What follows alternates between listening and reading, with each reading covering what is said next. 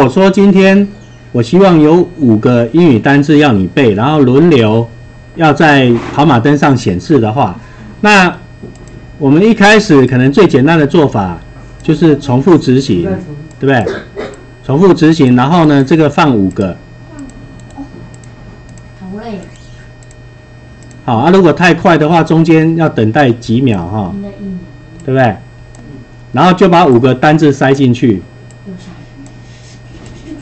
啊，那单字去哪里找？哈？我刚刚随便在网络上随便找了一下国国小英语单字哈，然后假设我直直接再用呃这里面的东西把它复制过来哈。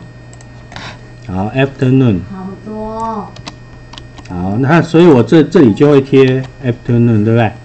然后这里用 age 年幼，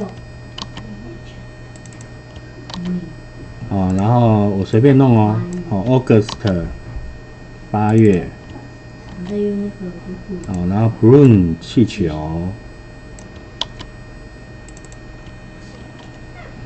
然后 bike 脚踏车，好，所以如果英文老师要叫你背五个单字，他每天就得这样子去改。哦，我们来先来试一下哈。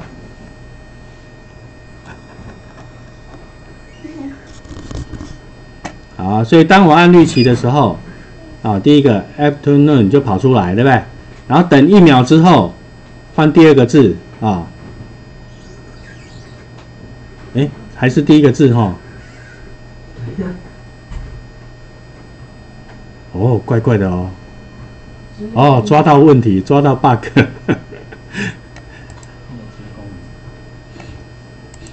好，所以这个有点 bug 哦。我们看看清空可不可以解决，试试看哈、清空文字。哦，它跑完一次之后，把它清空，然后等下一个。我们先试试看可不可以。好，再测一下哦。哎，就没有了。好，应该等一秒好了。我们把它颠倒一下哈、到过了，先等一秒再来清空，然后再换下一个哈。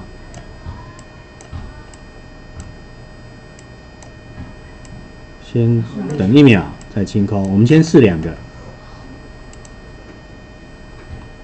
好，哎哎，所以一秒不够，它还没跑完，三秒啊，五秒好了。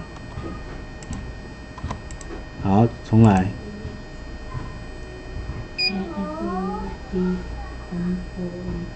五秒，可以了哈。